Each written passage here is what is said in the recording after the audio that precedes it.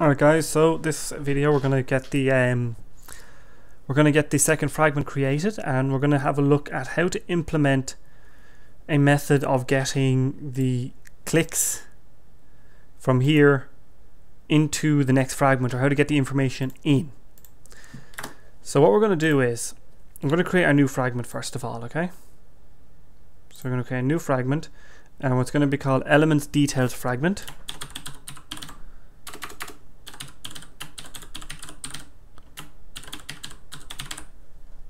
And we're going to browse and we're going to subclass fragment. And we're going to override around create view so whoever showed me this trick of the source thing is a very very good person. Because I never knew that that feature was there. So where's our on create view? There we go. Create. And we're just going to create our uh, view for that fragment. Now the view for the fragment is going to be a little odd. It's going to be this it's the same view for this, the fragment itself so what we're going to do is we're going to call this elements details fragment okay? And finish. So now we've got this here elements details fragment. We're just going to make this uh, a text view essentially.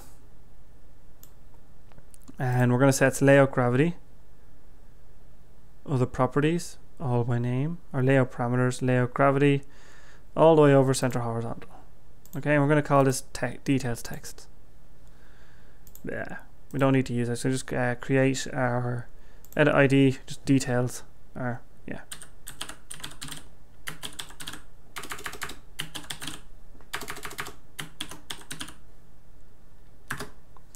So I've created our details text in a fragment, ready to go.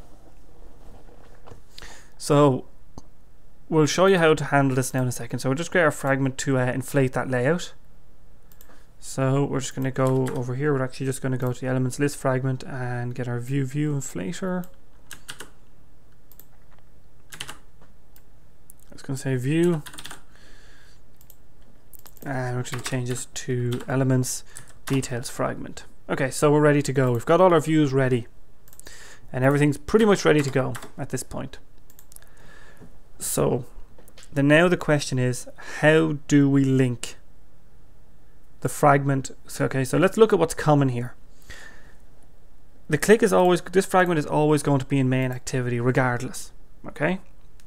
So, and the main activity, we could have the fragment decide what to do, whether to fire off a new activity, or what we could do is we can send information up to the main activity itself, and then let the main activity decide what to do. That's one of the best ways to do it because if you've fragments communicating with each other because if you have the fragment processing it, it it'll work but it'll be messy. This is a much cleaner method of doing it, okay? So if we go to our main activity, okay? And we're ready and we have everything here. So just get rid of that stupid comment. So we go to the main activity and what we're going to do is this is a little bit hairy, but we're going to build an interface. Now we're going to build a Java interface essentially. So we're going to make the interface a subclass of this. Now there's reasons for this. It's because only well, we don't want to create a new file for an interface and we can put it in here. So we're going to public interface. Okay. Now we're going to say this elements list item handler we're going to call it. Elements list click handler.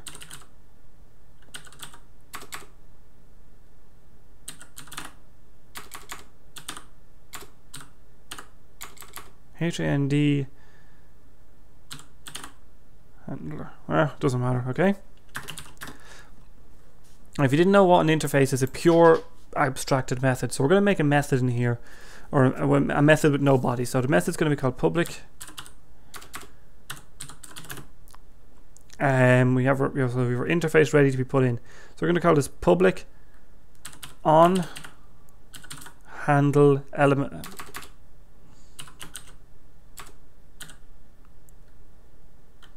handle element click.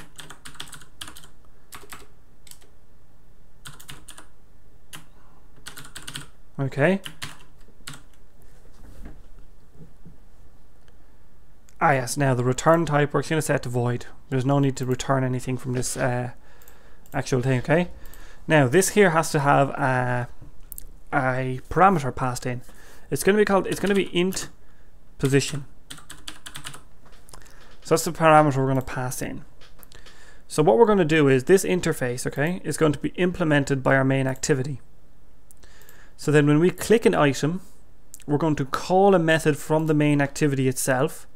So for to, we're going to call the method in here, which is going to be this interface. So we have to implement our interface.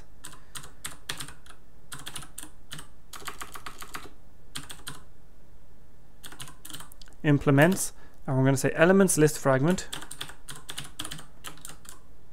just to show you where I'm getting this interface from.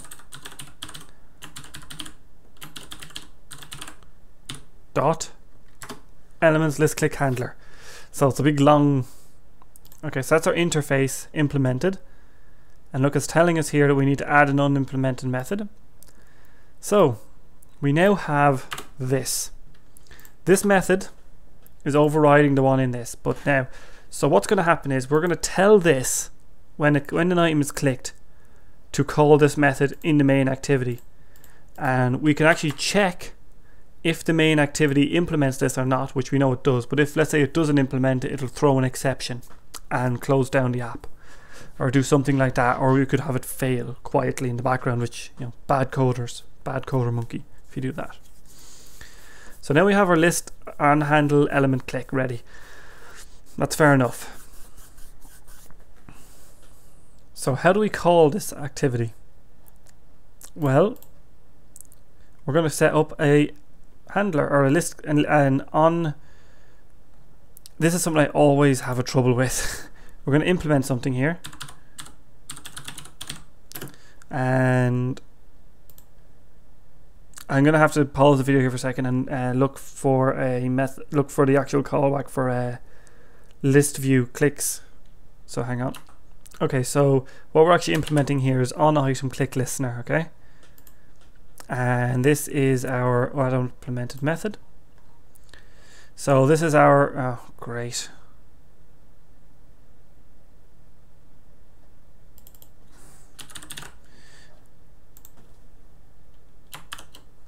And this is our position here, so just copy and paste position. And long arg3, so we'll leave them here. So we've done this before, we've set up uh, things here. Elements list dot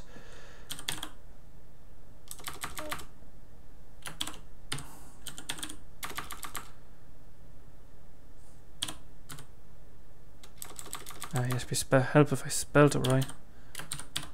I wanted the thing to pop up. Dot. Set on item click listener. And we'll just say this. Because this activity, this fragment, is an on item click listener because it implements that. So, on item click, what do we want to do? First thing we're going to do is we're going to get the activity or on item click. So we've got our position. So if you look here at the arrays, if I open up the arrays, you'll see that the arrays start at hydrogen and end down at ununoctium, which I think is a made up element. And as you can see here, see all the details here about the about them? Look at that, look all this information.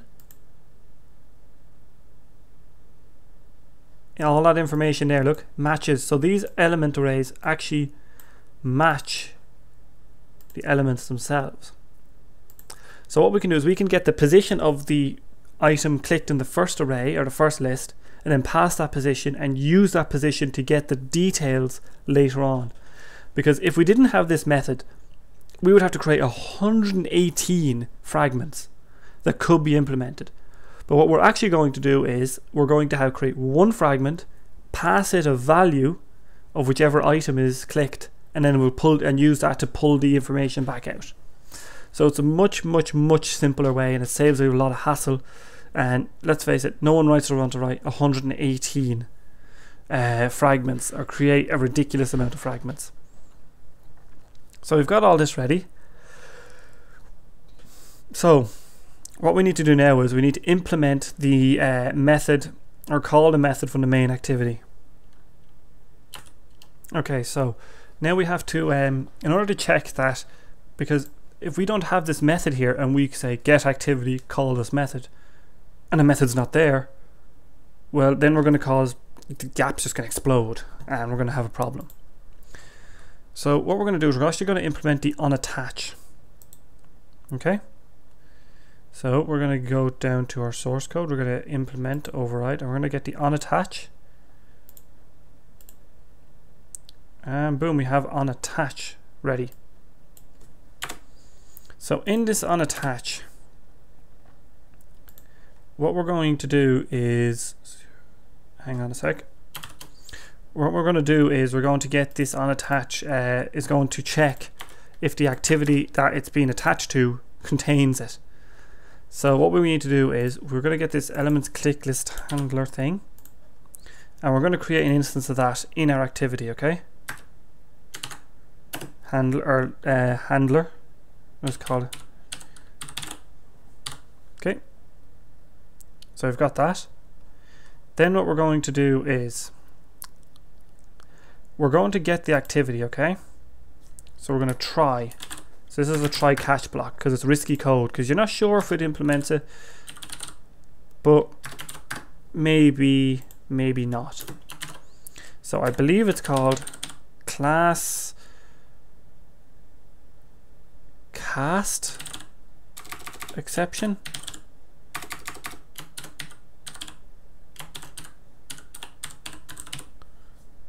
E, yeah, the class cast exception. So what we're going to do is we're going to get this class here and now.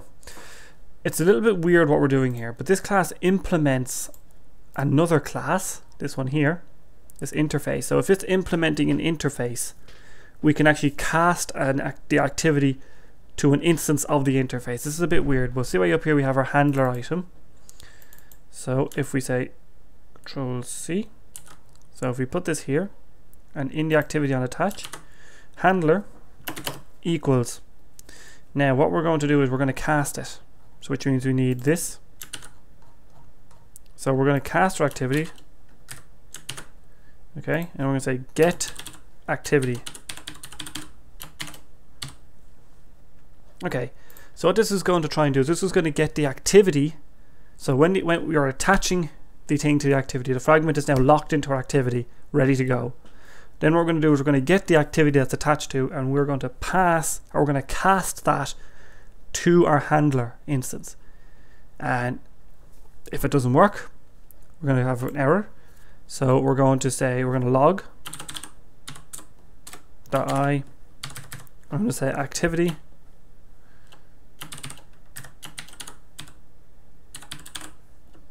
activity plus and we'll actually use get activity I believe it's get activity. I, I believe we can do the activity dot get class. Yep. Dot get simple name. Okay. Plus activity, so whatever activity, and I'll say does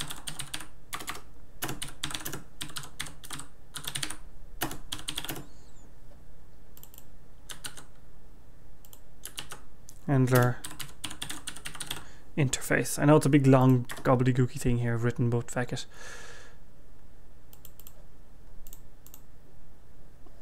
Okay, I have no idea what's happened. Ah, there we go. Save. So now we have that. Ah, yes. Be helpful if I put in the plus. Oh crap, need to put in the tag. Whoops. So tag done. So what we have is now we've cast that. So what's happened is the fragment is attached. And don't forget the fragment attaches before any of this is called. In order to make that a little clearer, I'll actually move that up here out of the way.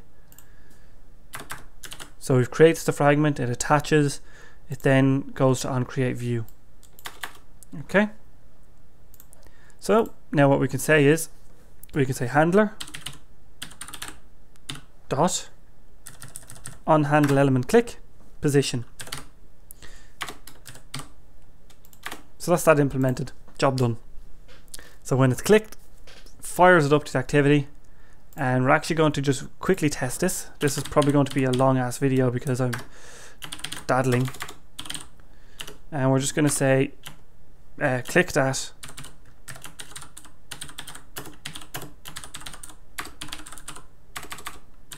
position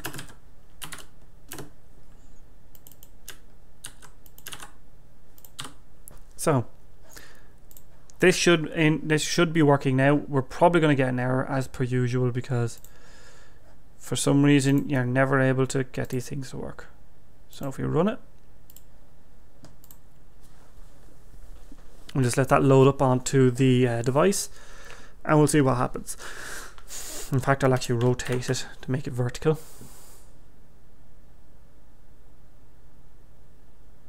Okay, so let's click. There, look, main activity clicked at position 7. Let's just scroll down a little bit. Clicked at position 69. Clicked at position 100. So our element fragment is now accepting our clicks and passing them up to our main activity. And in the next video, we'll go over actually implementing a method of whether to load the extra fragment or not. So if we actually go to F11, Shift F11 here, or very quickly, or Control F11, we should notice that the uh, the list only goes a bit of the way across the screen. See, see our list view is over here. That's because our list view, um, as you can see, we've got our list view here. Look, and it's clicked at position 3 clicked at position 21 but look at this look 19 so as you can see here we have the uh, the list view here and then we're going to load up the details about the fragment in this screen here. So that's what we're going to do in the next video we're actually going to uh, set up passing over the details. So guys if you haven't already like comment subscribe and I'll see you in the next video